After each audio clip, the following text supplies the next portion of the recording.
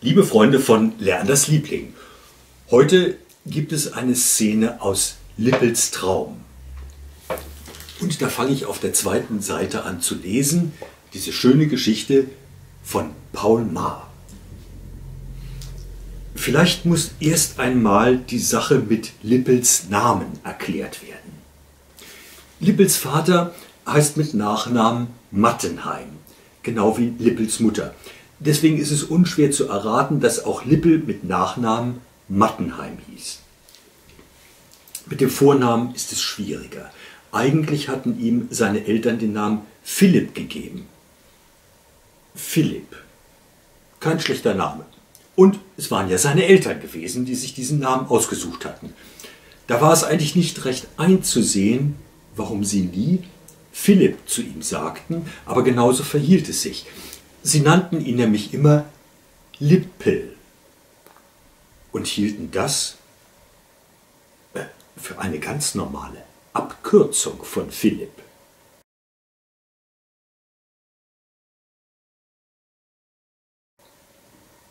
Naja, so glaubte der Junge, sein Name sei Lippel, bis er sechs Jahre alt wurde. Mit sechs kam er in die Schule und dort erfuhr er zu seiner Überraschung, dass er, Lippel, nun der Schüler Philipp Mattenheim sein sollte. Später, als er dann schreiben konnte und die anderen aus seiner Klasse lesen gelernt hatten, kam eine neue Schwierigkeit dazu. Wenn er seinen Namen schrieb, dann lasen die anderen immer Philipp, weil sie noch nicht wussten, dass man PH wie F ausspricht.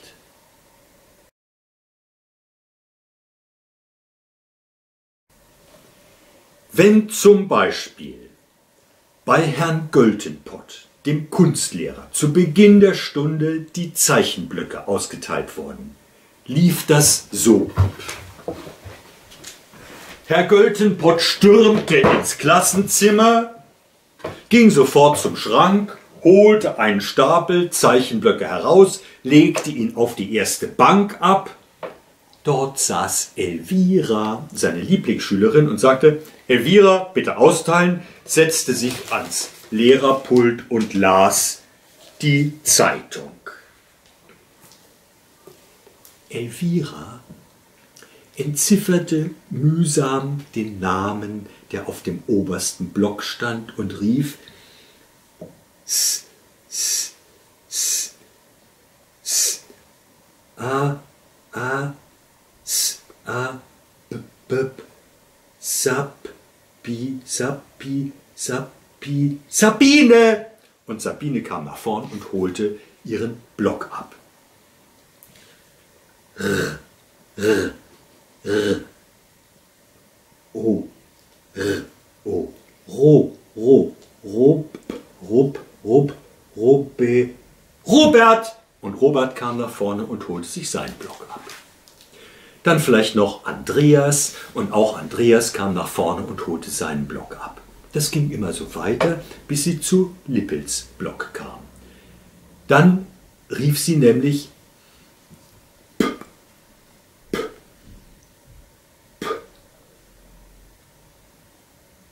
Pi, Piep, Piep, Pi, Piep, Piep, Piep, Pi, Pil, Pil, Philipp. Nun entstand erstmal eine Pause. Elvira rief nochmal. Philipp! Niemand kam nach vorne, um den Block abzuholen. Herr Göltenpott merkte, dass etwas Ungewöhnliches in der Klasse vorging, faltete seine Zeitung zusammen, nahm den Kaugummi aus dem Mund, steckte ihn in Silberpapier und den in die Jackentasche. Herr Göltenpott war nämlich nicht nur ein begeisterter Zeitungsleser, er war auch ein leidenschaftlicher Kaugummikauer. Er kam immer nur kauend in die Klasse. Zu Beginn der Stunde nahm er den Kaugummi aus dem Mund, rollte ihn sorgfältig in Silberpapier ein, am Schluss der Stunde wickelte er ihn wieder aus und steckte ihn in den Mund zurück. Die älteren Schüler behaupteten, er kaue schon seit fünf Jahren an ein und demselben Kaugummi. Das stimmte nicht. Elvira hatte ihn gesehen, als er Kaugummis aus einem Automaten holte, und das war noch nicht mal drei Wochen her. Jedenfalls hatte sie es so in der Klasse erzählt. Für Herrn Göltenpott fing eine Schulstunde nicht mit dem Klingeln an, sondern dann, wenn der letzte Zeichenblock ausgeteilt war. Deshalb musste er jetzt erst Zeitung und Kaugummi verstauen, bevor er sich der Frage widmen konnte, weshalb das Austeilen der Blöcke so plötzlich stockte. Lippel bekam von alledem nichts mit. Er kam gar nicht auf die Idee, dass er der Grund dieser plötzlichen Stockung sein könnte.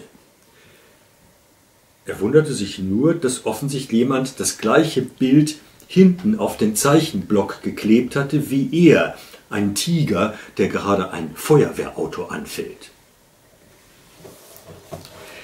Erst als Herr Göltenpott mit vorwurfsvoller Stimme sagte, Philipp Mattenheim, träumst du schon wieder? Willst du deinen Block nicht in Empfang nehmen? Wartest du ihn, dass man ihn dir bringt?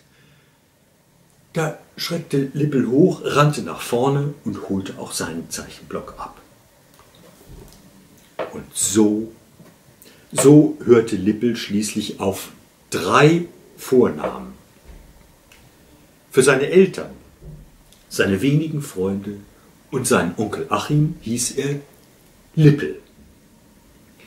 Die meisten aus seiner Klasse riefen ihn Philipp. Und für einige wenige die selbst in der vierten Klasse noch nicht begriffen hatten, dass man pH wie F ausspricht. Da war er immer noch der Philipp. Da er für sich selbst aber stets der Lippe blieb, soll er auch so genannt werden. Und das müssen wir dann im weiteren Buch weiterlesen und träumen. Lippels Traum.